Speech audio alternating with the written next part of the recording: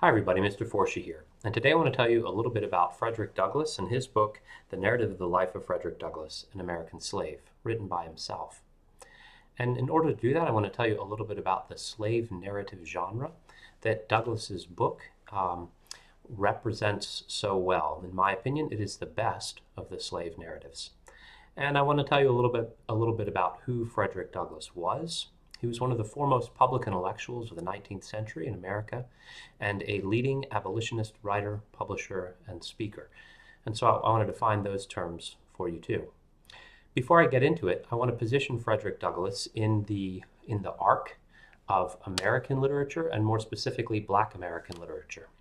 Remember, we talked already about uh, Jupiter Hammon, the first African American poet who uh, published his first poem in 1761 and about Phillis Wheatley, who published her um, poems on various subjects, religious and moral, in 1773. And notice the date of Frederick Douglass's publication, it's 1845. That's already a date that I've asked you to learn because what great American poet published his great famous poem in 1845? Hopefully you got it. It is Edgar Allan Poe's The Raven was published in 1845. So in the same year that Poe was publishing The Raven, Frederick Douglass has published his, his narrative, his autobiographical account. Now, I've talked some to you already about the kind of trajectory of American literature, and I've made this case to you that poetry is a human fundamental and essential. We human beings will always need to put words, well chosen words, in the best order that we can to most beautifully or most appropriately express our human experience. We just need that as human beings. We can't get away from it. But literature as a fine art, literature as um, uh, storytelling that um, uses uh, words as its medium to um, to craft novels and short stories. That, in a sense, is the luxury of a people who have a certain amount of stability, liberty, and their basic needs provided for. And that, I hope you remember, that's why I argued that in the first couple hundred years of uh, European existence in this continent of North America, the predominant genres of writing were poetry, because we always need that, and nonfiction, because you had a people busy with the work of staying alive and securing liberty and stability for themselves. And in the Black American experience, you have the same thing. You have poets early in American literature, like Jupiter Hammon and Phillis Wheatley, um, and you have the primary genre of Black American writing in the 19th century, the slave narratives, nonfiction accounts of a formerly enslaved person's life under slavery and his escape from it. And I hope you can see that we have a very similar trajectory here. That for Black Americans, they are busy with the work of staying alive and securing a certain amount of liberty and stability for themselves. And the slave narratives are that nonfiction genre absolutely essential to doing that. And once they have secured a certain amount of that stability and security, well, then we get the creative explosion of the Harlem Renaissance coming in the 1920s when you have black musicians, poets, novelists, uh, short story writers, um, did I already mention musicians? If not, I certainly should. Jazz music is, of course, the great cultural product of the Harlem Renaissance. But you have this enormous explosion, explosion of creativity in the 1920s in uh, Black American literature, in much the same way that we had this enormous explosion of creativity in white American literature between the years of about 1820 and 1860. In fact, you'll remember that we talked about how Poe's Raven is published in 1845, and uh, The Scarlet Letter then is published in 1850, and Moby Dick is published in 1851. Around the same time, Longfellow's publishing. It's just this enormous explosion of creativity. And we're going to see the same arc with Black American literature. And right now, we're right in that place where Black Americans are telling their stories. They're using the power of the pen to secure for themselves those blessings of liberty and stability that are going to become essential to creating literature as a fine art. All right, so um, the slave narrative I've just defined for you here. I've given uh, its definition, its importance. Uh, it is the major genre of African American literature in the 19th century and an enormous influence on subsequent American literature by both black and white authors. Its influence includes um, influencing Harriet Beecher Stowe's Uncle Tom's Cabin, Mark Twain's Adventures of Huckleberry Finn, which we will later read, and in contemporary literature, Toni Morrison's Beloved. Some noteworthy examples of the slave narrative. At the beginning of the course, we read a small excerpt from one from Harriet Jacobs' Incidents in the Life of a Slave Girl, which was published in 1861. One of the earlier ones that I have mentioned before, but we've not read, is uh, Gustavus Vassa's interesting narrative of the life of Olaudah Equiano, or Gustavus Vassa, the African, published in 1789. And the one you see on the screen here is Solomon Northup's 12 Years a Slave, published in 1853. And there was a fantastic uh, movie version done of that book a couple years ago. Sadly, there has not been a movie version done of uh, Frederick's narrative, which I think is a real shame because it, it would make a fantastic movie. And it is a hugely important book. And uh, Douglass himself is a hero of a man, and I wish more people knew about him. All right, so in order to set the context for all this, I want to talk to you a little bit about slavery and abolitionism in the 19th century. Abolition just means the desire to get rid of something. To abolish means to get rid of. But in our context, in the 19th century in America, um, abolitionism more precisely should be defined as the 18th and 19th century position that slavery should be immediately, totally, and unconditionally ended in the United States. And a person who believed that and agitated for those changes was known as an abolitionist. Now, notice in the definition I say immediately, totally, and unconditionally. I'm following historians in defining it that way because there were many people in the 19th century in America, uh, for example, Abraham Lincoln, who were on board with the gradual um, dying out of slavery, uh, but he was not considered an abolitionist because he did not want the immediate, total, and unconditional end to slavery. And there, there are many others of, of a similar view. So the abolitionist is someone who doesn't want to just wait for uh, 40 or 50 or 60 or 100 years or however long it might take for the institution to supposedly die out on its own. Now, we've talked before about slavery, of course, and here again are the misconceptions about slavery that I have uh, addressed, and then my argument against each one of those. And I'm not going to go through each one of them again uh, right now, but I do want to add one more to them here at the bottom that's important for Douglass's context. And that this misconception is that the Civil War was about states' rights or sectional differences and not about slavery. And against that misconception, I want to argue quite forcefully that the central cause of the Civil War was, in fact, slavery. Now, I say the central cause because slavery was a complex and huge political issue of 19th century American life. And so that complexity expressed itself in all sorts of various ways.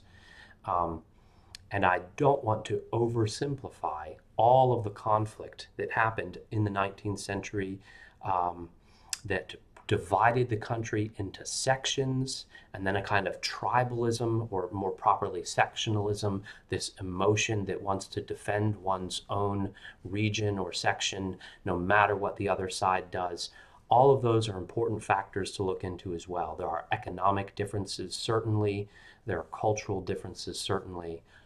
But those do not detract from the fact that slavery is the driving force that leads America to the Civil War. And I will, well, I'll, I'll get to it now and I'll, I'll get to it again when I wrap up here. Why does this matter? I'll return to the question in a few minutes, but for now I'll say the cumulative effect of these misconceptions about slavery is to treat slavery as no big deal, as simply a cultural difference, as a, a minor wound, if it is a wound at all, that would have just healed on its own if left to itself. But that badly misunderstands the context that Frederick Douglass was writing in, what he was writing against, and why he felt he had to write. To understand 19th century American literature, you have to understand that slavery was the biggest and most pressing political issue of the day. It was not a minor sideshow to other larger problems. So, in order to make this argument that the Civil War was in fact about slavery, uh, I have four categories of evidence that I want to put in front of you pro secession pamphlets, secession documents of the Southern states, the Constitution of the Confederate States, and the cornerstone speech made in support of that Constitution. So I'm going to make my case to you that the slavery, uh, excuse me, the Civil War was in fact about slavery, and uh, and then I'll wrap up with telling you with uh, explaining what this has to do with Frederick Douglass's book. Okay, so four categories of evidence that I'm going to step through. First, pro-secession pamphlets. These are pamphlets, articles, and speeches that were published all across the South in 1860 and 1861, arguing that the Southern states should secede, that is, should leave the United States government. Well, why those dates in particular? Why 1860 and 1861? Why is it that states began to secede at the end of 1860 and into the um, early months of 1861? And it is because in 8 November of 1860, um, the anti-slavery Republican Party had just won across the board. Abraham Lincoln was elected president, and the Republican Party gained control in both the House and the Senate. Now, again, although Lincoln is not an abolitionist by our earlier definition, he had advocated for gradual emancipation of the slaves, and he had declared in one of his most famous campaign speeches called the House Divided speech, quote, I believe this government cannot endure permanently half slave and half free. It will become all one thing or all the other. The slave states realized that they had lost the power to protect slavery. They used to be the majority in Congress. Uh, they had used their power, in fact, to enforce a gag rule in Congress, saying no one is allowed to speak against slavery on the floor of the United States House of Representatives. And for eight years, they held that rule in effect, from 1836 to 1844. And that's just the timing. The reasons that these pamphlets give, arguing we need to leave the Union, are even clearer.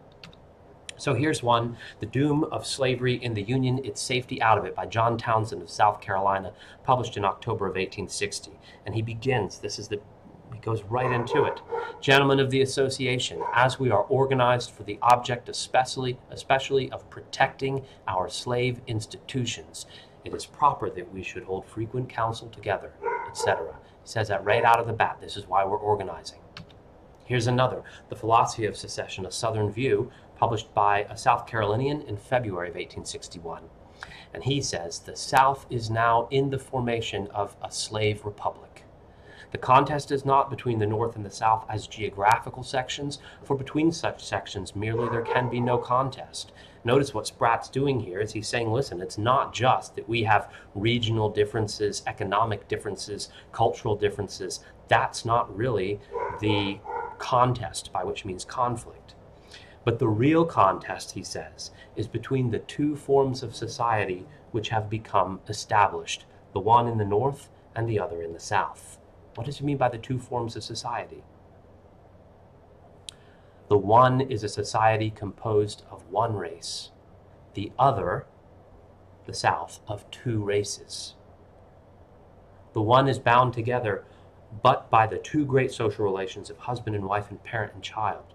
The other, the South, by the three relations husband and wife, parent and child, and master and slave. The one, that is the North, embodies in its political structure, structure the principle that equality is the right of man. The other, that equality is the right of equals only.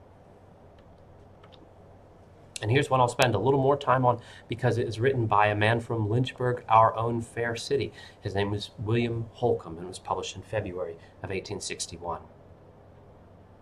A sectional party inimical, that means uh, enemies, to our institutions. And when Southerners talk about our institutions or our peculiar institution, they mean slavery.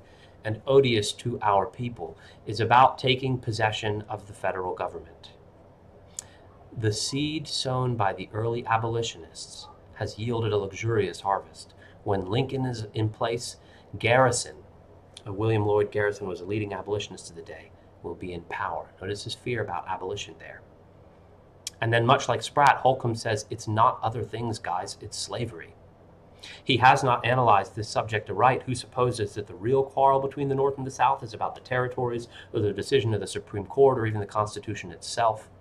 The division is broader and deeper and more incurable than this. The antagonism is fundamental and ineradicable, means it can't be erased or gotten rid of. The true secret of it, of the conflict, lies in the total reversion of public opinion, which has occurred in both sections of the country in the last quarter of a century on the subject of slavery. True secret of it is slavery, he says. The northern mind has become so thoroughly anti slavery in sentiment even those who contend for our constitutional rights share in the universal opinion that slavery is a great moral and social evil. Those who have adopted the pro slavery view are exceedingly few in numbers up in the North, he means, and are regarded by the mass of Northern people as more fanatical than the most extreme abolitionists. To the uh, pro slavery defenders in the South, the abolitionists were dangerous radicals and fanatics the press, the pulpit, the rostrum of the North are clamorous with declamation against us and our institutions. Slavery is considered not only immoral, but debasing to both owner and owned. It is, they say, a relic of barbarism and a disgrace to an enlightened people. Notice the hear the hurt, if you will, in his tone here, right? Uh, they morally disapprove. Our our um, opinions on this subject have diverged too much. And here is Holcombe's response to that moral disapproval. Man has no inalienable rights, he says, not even those of life, liberty, and the pursuit of happiness. If the life he leads, the liberty he enjoys, and the happiness he pursues are not consistent with the order and well being of society, he may righteously be deprived of them all. That government is the best and its people the happiest, not in which all are free and equal, but in which equal races are free, by which he means white people, and the inferior race by which he means black people, is wisely and humanely subordinated, that is, put under um, control. The second category of evidence here the secession documents of the states which left the Union. Of the 11 Confederate states that left the Union uh, and formed the Confederate States of America, uh, four of them wrote uh, detailed documents called uh, Declaration of the Causes which Induce and Justify Secession. Um, the others passed just much briefer resolutions saying, we're leaving. But four states said, we're leaving and here's why. In those four documents, all four say they are leaving because of slavery. They're very clear. Now, there are other issues that they raise too, certainly, but slavery is central in all four documents.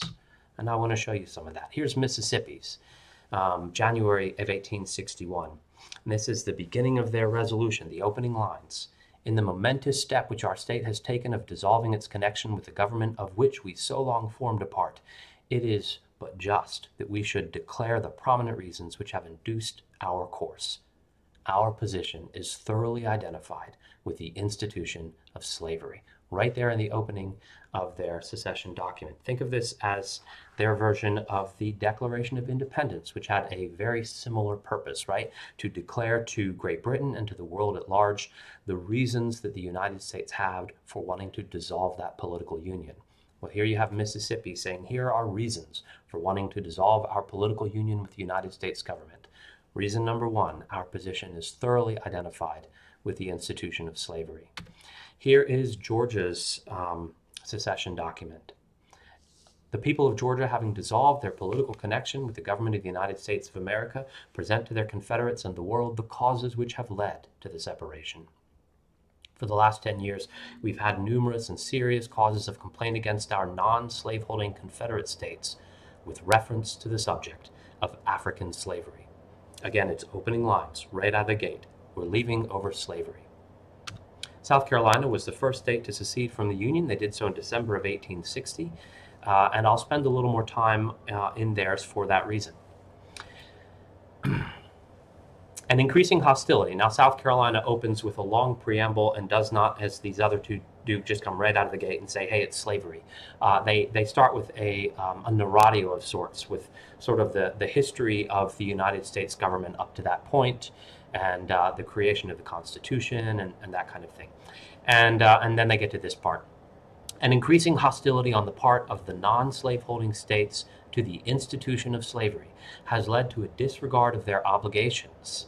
Uh, specifically, they mean, and these are my words, not theirs here in the brackets, specifically uh, to recapture and return men and women who escaped slavery. And that's uh, in the lines just before it and the lines just after it. I, I, will show you that to see where, to show you where I got that from. Uh, these states, now continuing in their words again, have enacted laws which either nullify the acts of Congress or render useless any attempt to execute them. A geographical line has been drawn across the Union, and all the states north of that line have united in the election of a man to the high office of President of the United States, whose opinions and purposes are hostile to slavery. Notice the reacting there to the election of Lincoln. Why? Because his opinions and purposes are hostile to slavery. He said that the nation cannot remain half slave and half free, it will become all one thing or all the other. Continuing, he is to be entrusted with the administration of the common government because he has declared that that government cannot endure permanently half slave, half free, and that the public mind must rest in the belief that slavery is in the course of ultimate extinction. And if slavery is going to be out, says George, South Carolina, well, then we are out and they further complain about the behavior of the northern states. Those states have assumed the right of deciding upon the propriety, that is like the moral rightness, of our domestic institutions. Again, that means slavery. And have denied the rights of property, and that means the property in man, uh, the, the uh, supposed right to hold slaves, established in 15 of the states.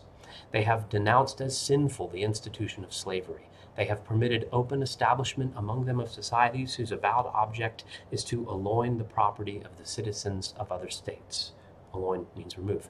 They have encouraged and assisted thousands of our slaves to leave their homes. Let me go back to this real quickly here, back up just a little bit. First one in South Carolina. Yes. Now, I, I spend a little more time with South Carolina in particular because I want you to see in South Carolina's secession document, what they are complaining about is not that the federal government has too much say over what the states do. In fact, they are specifically complaining that the states, the northern states, are nullifying the acts of Congress. That is, are not listening to the federal government. I think this is powerful evidence against the claim that the Civil War was really about states' rights, that some states said the federal government shouldn't tell everyone what to do, the states should decide what to do. Well, no, South Carolina's entire complaint is that these northern states are not enforcing the fugitive slave laws that, uh, that, that, Congress has passed. That is, they are not capturing black men and women who've run away from slavery and shipping them back down south. And we want them to do that. Maine, Massachusetts, you don't get to say whether you will listen to the federal government or not, says South Carolina. You have to return uh, escaped slaves. My third category of evidence is the Constitution of the Confederate States. I asked a friend of mine who uh, is a professor of history and taught for some time at Liberty, taught history for some time at Liberty, what he thought of the causes of the Civil War. It's a topic of interest to me. And uh, he told me if you want to know what people fought for, look at the government they created. All right, if you want to know why uh, the United States uh, broke with King George and formed uh, their own nation, look at the government they created. What is it that they were after? And so I did. And if you look at the Constitution of the Confederate States, you will find that it looks much like the Constitution of the United States. Uh, but note what it adds. Here's Article 1, Section 9, Clause 4 no bill of attainder, ex post facto law, or law denying or impairing the right of property in Negro slaves shall be passed. The Constitution of the Confederate States, the, the, the structure of the government is much like the United States Constitution. They pretty much just copied and pasted for large sections of that thing, but they made sure to add in no law denying or impairing the right of property in Negro slaves shall be passed. Here's another section. The Confederate States may acquire new territory. In all such territories, the institution of Negro slavery, as it now exists in the Confederate States, shall be recognized and protected by Congress and by the territorial government. Notice that what the, the Constitution of the Confederate States is saying here is that new states that might join the Confederate States in the future do not get to decide whether slavery will be legal there or not. Again, it's not a states' rights issue. They're saying any new territories acquired by the Confederate States will be slave territories and will be slave states. So again, if you want to see what what a people fought for, look at the government that they created. The government that they created was, um, in the words of, um, oh, not Holcombe, not Spratt, our first gentleman. I've lost his name. A slave republic. Townsend a slave republic. Okay, and finally, my fourth category of evidence for this is the cornerstone speech given by Alexander Stephens, who was the vice president of the Confederacy. Um, and he gave this speech uh, to the Confederate, the uh, assembly that um, voted in the Confederate Constitution in Savannah, Georgia. Gave it in March of 1861. Now, this is the Vice President of the Confederacy speaking on the occasion of having just ratified that new Confederate Constitution that protected uh, slavery perpetually in its text, right? And so, what does the Vice President of the Confederacy have to say about the government that they have just created? In this speech, he says, The new Constitution has put at rest forever all the agitating questions relating to our peculiar institution. There's that phrase again African slavery as it exists among us, the proper status of the Negro in our form of civilization. This was the immediate cause of the late rupture and present revolution. This was the immediate cause, African slavery, of the late rupture and the present revolution. Jefferson, in Stephens is going back to the beginning, to the founding of the United States. Thomas Jefferson, he's speaking of, in his forecast, had anticipated that this slavery was the rock upon which the old Union would split. He's quoting from Jefferson there, who had wanted to uh, write against slavery in the Constitution, and um, that just this uh, another and a larger discussion that did not happen.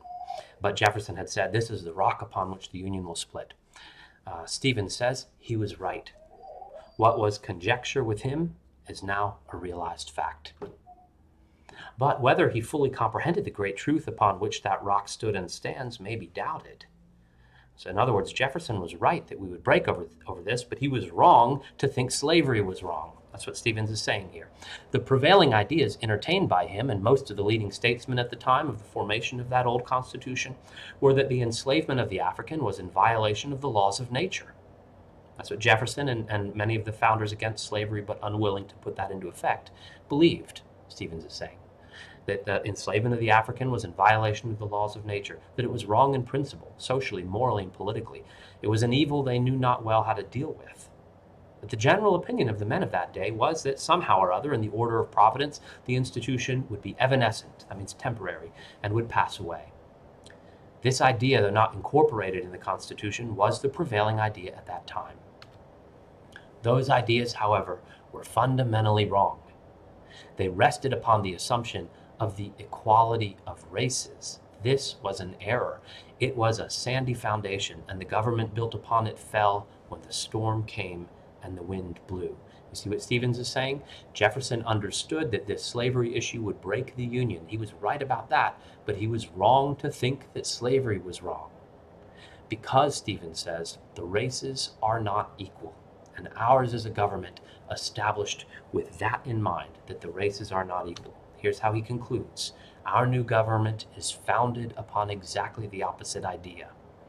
Its foundations are laid, its cornerstone rests upon the great truth that the Negro is not equal to the white man, that slavery, subordination to the superior race, is his natural and normal condition and this was an applause line This was a speech given orally, and uh, we have copies of it because people in the audience were writing it down.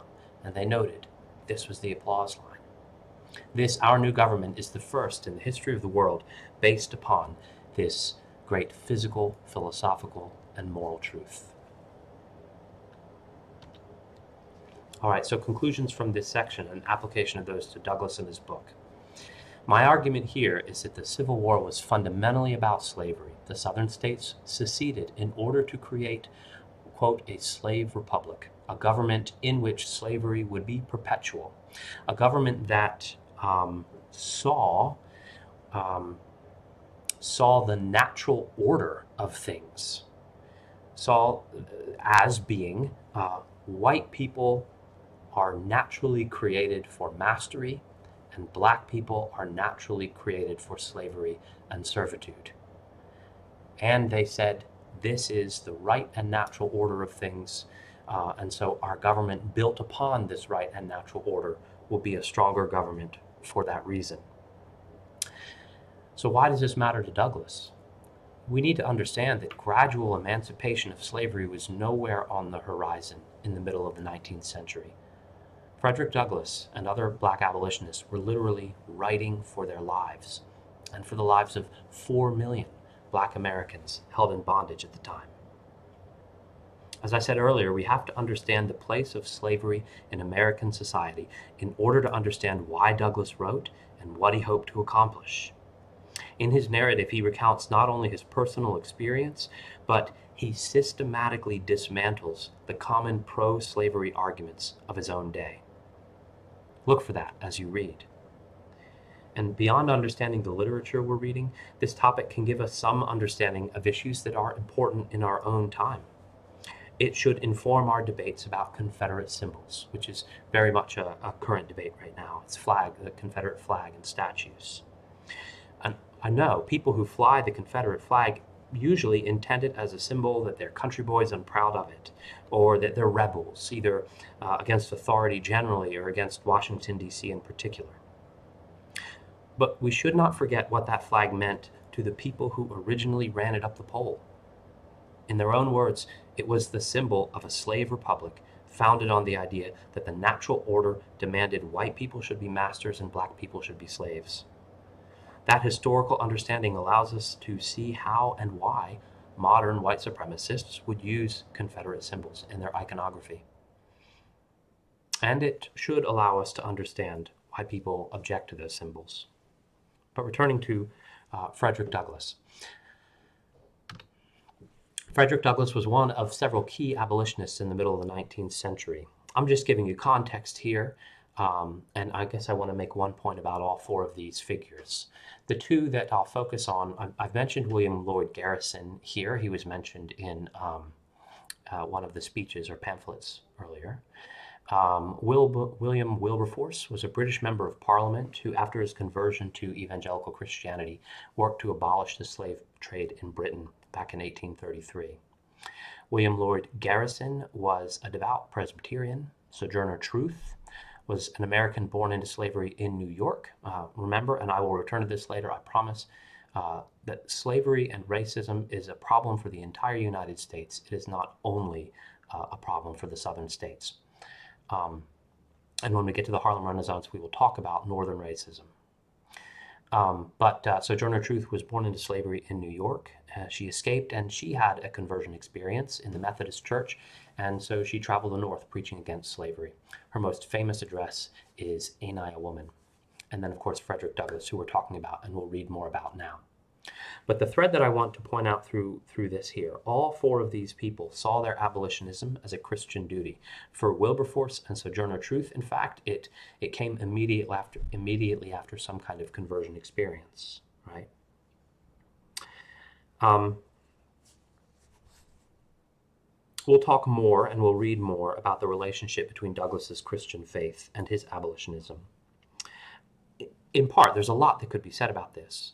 Um, but just to connect it to one of the themes of our course, I think this too is part of the legacy of Puritanism in American culture.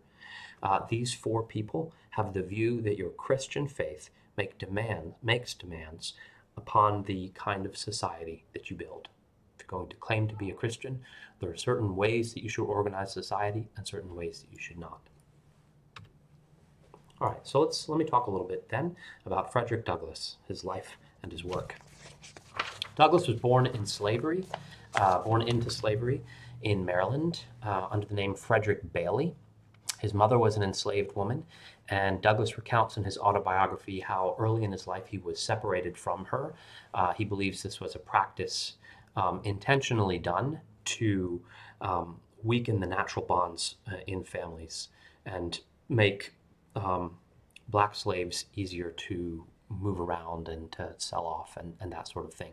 But um, he was separated from her very young, uh, like two or three years old, if I remember correctly. Um, and only knows about his father for sure that his father was a white man. Uh, Douglass tells us about this in his narrative also, that uh, he assumes his father was his master because that's what everyone around him says, but he has no confirmation of that. As a boy, Douglass learned to read, and uh, once he had mastered that, as a, as a young man, taught other slaves to read as well, even though uh, he was beaten if he was caught. Um, education was enormously important to Frederick Douglass. He realized its power. Uh, and I'll get to that more in just a minute. But there's this great quote of his that I, I, have up on the screen here for you. Without education, man lives within the narrow, dark, and grimy walls of ignorance. Education, on the other hand, means emancipation. It means light and liberty. It means the uplifting of the soul of man into the glorious light of truth the light by which men can only be made free. Notice the importance of education to Douglass, the uplifting of the soul of man. That's what you're doing when you're getting an education, not just learning how to read and, and write persuasive memos for your job. Those are it's important to have a good job, of course, but uplifting of the soul of man into the glorious light of truth, that's a much higher calling. That's a calling worth risking a beating for. And Douglass did that for himself and for other people as well. So, um, one of the early texts that he got his hands on uh, speaks to the power of a classical education. It was a book called The Columbian Orator, which was a collection of, of great and famous speeches in the Western tradition from Roman times to modern times. And reading those speeches, Douglass uh, talks about uh, the way those speeches gave him just this um, a, a, yearning for freedom. Um, that kind of education is called a liberal education. Liberal in the sense of it makes you free. Liber, free, the Latin word is free. Not in the sense of modern left right politics, but liberal in the sense that it makes you free, right? It, it elevates the soul up towards freedom. And that's what the, the noble sentiments expressed in those speeches, that's what Douglass found. It gave him a yearning for freedom.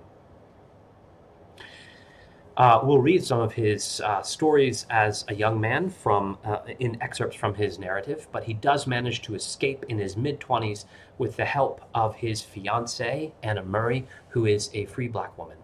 And so he escapes. Um, with her help, marries her 11 days after getting free. Um, and the two of them settle in New Bedford, Massachusetts. Interestingly enough, because that shows up, uh, that's the second time it shows up in our course. Of course, uh, New Bedford is where Ishmael stops on his way to Nantucket. It was a whaling town, uh, but New Bedford was also um, a had a strong abolitionist community and a strong free black community, and uh, so uh, Frederick and Anna moved there. He's encouraged to speak and write by the community there in New Bedford, and so he begins to do that. He begins to show up to abolitionist meetings and tell his story, and uh, eventually collects it into this book, The Narrative of the Life of Frederick Douglass, an American Slave, which is published, as I said, in 1845. And I will come back to this picture. He, he published his picture in it for a very important reason that I want to tell you about. I'll come back to that in a minute. Shortly after its publication, he traveled to England. I'll come back to that in a minute too. It'll all come together, you'll see. He traveled to England uh, for a couple years and returned in 1847 um, with enough money to purchase his freedom. He traveled to England to uh, speak on the lecture circuit there about American slavery and abolition. And he returned uh, with enough money to purchase his freedom. Well, why would he need to do that? I'll get back to that in just a minute. Um, so Douglass goes on to become, now that he has, well, maybe I should tell you now and I'll expand upon it in a minute. Remember, the fugitive slave law was uh, still a threat for a man like Douglass who had escaped slavery. And if you publish a book about your experiences and people say, oh, wait a minute, so you're an escaped slave, you are all of a sudden worth a lot of money to some unscrupulous people who would be happy to clap you in chains and ship you back south in order to collect the reward money. So, having published this book, D- Douglass was in some great amount of personal danger that that would happen. So that's why he has to leave for England, and that's why when he comes back, he brings back money in order to purchase his freedom. Then he is legally free and can no longer be uh, captured and cannot legally anyway be captured and uh, and sold back south into slavery again. So he becomes an early black public intellectual. Well, what do I mean by that? I've, I've used this phrase before. Remember, a public intellectual is uh, a person whose expertise in some area and their speaking ability is called upon to talk to the American public, or any public, but we're an American lit, so talk to the American public. Uh, Ralph Waldo Emerson, Henry David Thoreau, they're public intellectuals that we have talked about and uh, Frederick Douglass was too. He was called upon to give all sorts of speeches, to engage in debates with pro slavery speakers. In fact, he did that so much that some of his more radical abolitionist friends got uh, upset at him, and they said, um, uh, there was this kind of no union with slaveholders attitude in some of the more radical segments of the abolitionist movement that said if people want to leave over slavery, fine, let them leave. I don't want to let them be in the same government as me anyway, right? And we shouldn't debate them. We shouldn't have their ideas put out there on the public stage, even if you're going to argue against them. We don't want to hear what they have to say. And uh, Douglass responded. I'll read a quote from him. First, he says, the Constitution is, according to its reading, an anti slavery document. And second, to dissolve the Union as a means to abolish slavery is about as wise as it would be to burn up this city in order to get the thieves out of it. But again, we hear the Union, uh, sorry, the motto, no union with slaveholders. And I answer it with a more sensible motto, namely, no union with slave holding. I would unite with anybody to do right, and with nobody to do wrong. That's a great line. One of the things that made Douglass such, a, in addition to a rich uh, speaking voice, um, those uh, the ability to come up with those great, memorable lines. I would unite with anybody to do right, and with nobody to do wrong. So he continued to debate slow, uh, pro-slavery speakers. Um, even got to the point where he advised Abraham Lincoln. Um, he had his own um, disagreements with Lincoln. In fact, Frederick Douglass was uh, advising him to make the emancipation of slaves a more central priority in the Civil War. Uh, Lincoln's priority was just to keep the Union together first and foremost, right? And Douglass said, you need to make the emancipation of slaves a higher priority. And he said, you need to arm black Americans and let them fight for their freedom. And Lincoln was hesitant to do this at first and eventually was convinced by Douglass. He also advised President Andrew Johnson, who was uh, sabotaging the Reconstruction effort in the South. Douglass was telling him, stop doing that. And that didn't go so well.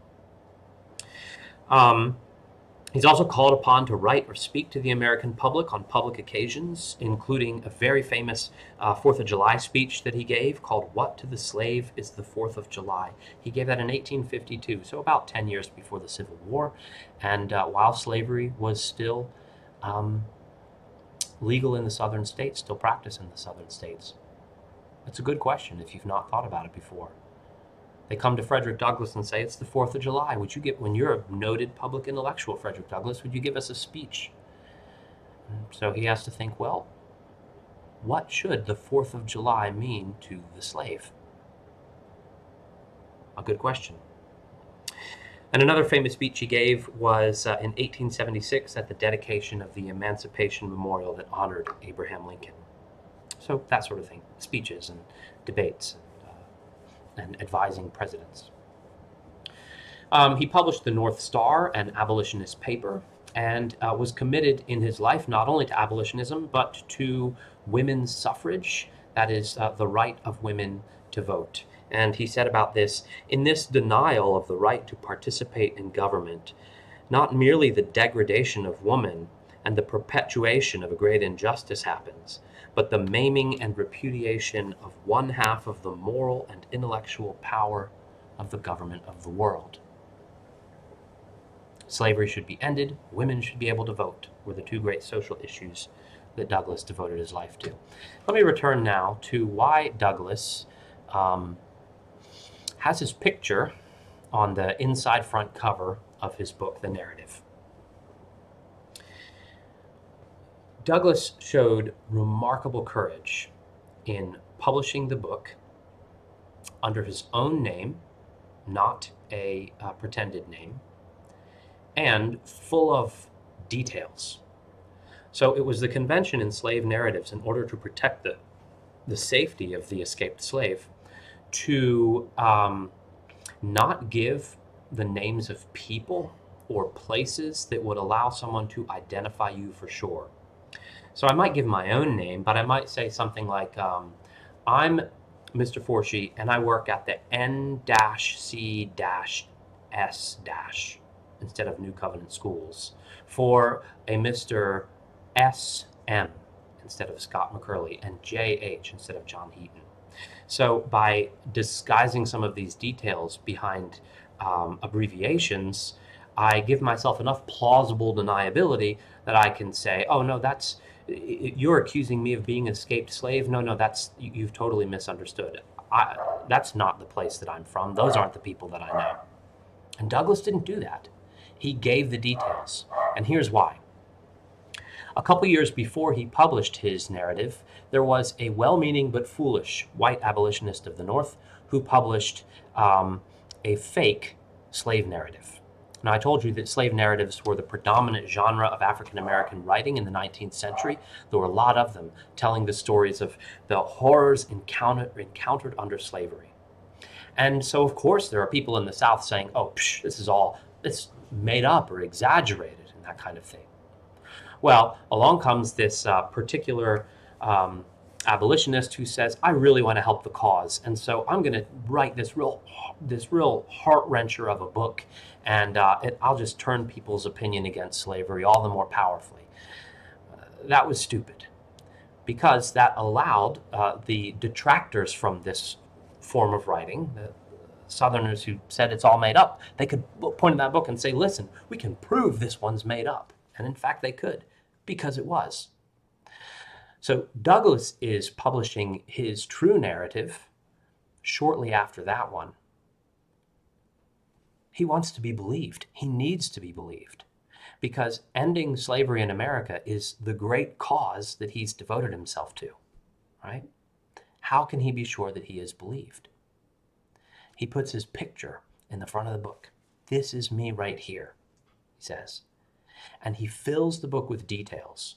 Not only place name and people name details, but he says you can go to this town and ask these people if what I'm saying is true. In fact, um, this works out to his advantage because um, his former master, Thomas Auld, reads this book and writes into the newspaper to say, um, Frederick Douglass has, has grossly abused me in this book. I, I didn't beat him like that at all. I don't know what he's talking about. And uh, Douglass responded to the newspaper and said, first of all, um, thanks for confirming that, quote, I am what I proclaim myself to be. Right? Thanks for confirming that I am actually Frederick Douglass, the escaped slave of uh, that formerly lived on your plantation. Right?